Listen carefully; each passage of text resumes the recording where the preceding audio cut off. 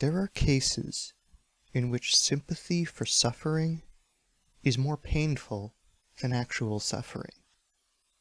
We find it more painful, for example, when one of our friends makes himself guilty of something shameful, than when we do so ourselves. For we believe, firstly, in the purity of his character more than he does.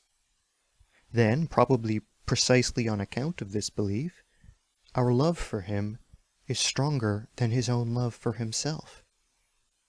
Even if his egoism really does suffer more than our egoism does, inasmuch as he has to endure the evil consequences of his act more than we do, nonetheless, the unegoistic in us this word is never to be taken in a strict sense, but only as a simplified form of expression, is affected more strongly by his guilt than is the unegoistic in him.